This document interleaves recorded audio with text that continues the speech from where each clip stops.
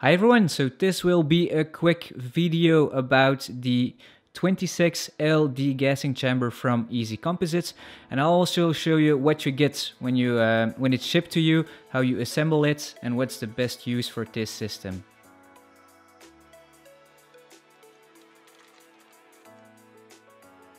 If you always want to be up to date with new videos, don't forget to smash that subscribe button and hit that bell button as well to get notifications when new videos are being uploaded. If you want to support me, the best way is giving this video a like.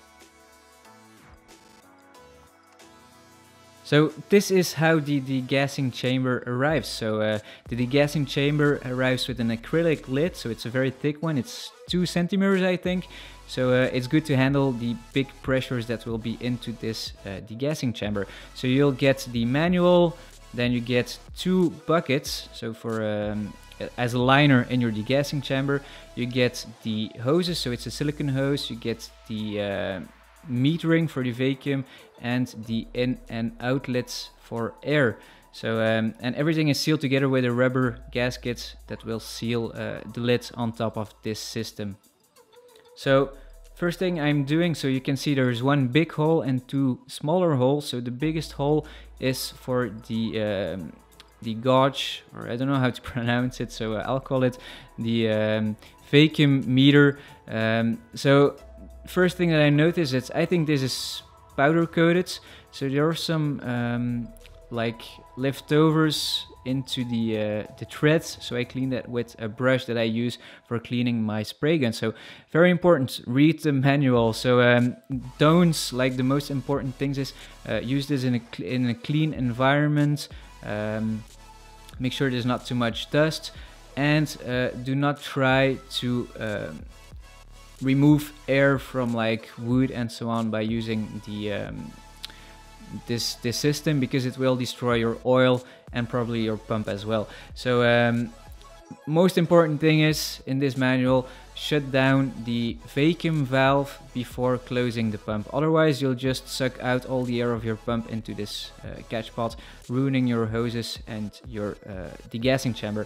So the problem i had here is i think this is something easy composites can fix um, but it's not threaded in the right way. So i was turning it around and I think it was 270 degrees off. So in fact, it's not a big problem, but I, it would be like really annoying, um, like watching it sideways to see if you have full vacuum or not.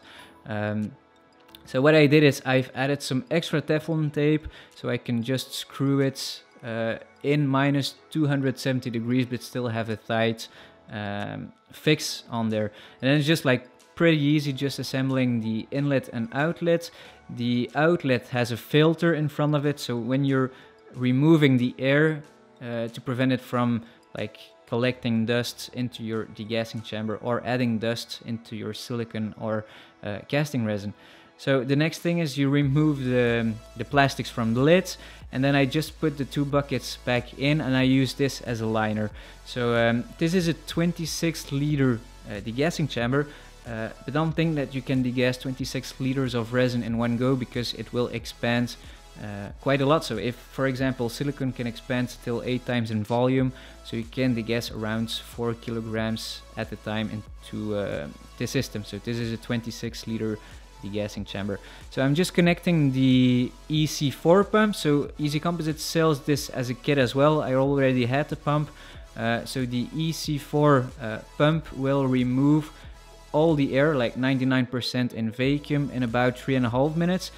If you have some spare money to spend on this, I would highly recommend you buying the bigger EC20 pump uh, with this system because you can remove the air in about 30 seconds till 99%. So um, just to give you a rough idea, so the starter kit with this pump would be around 465 pounds. Um, and if you pay 700, 745 pounds, you'll get the bigger system. Thanks for watching and I hope you like this video.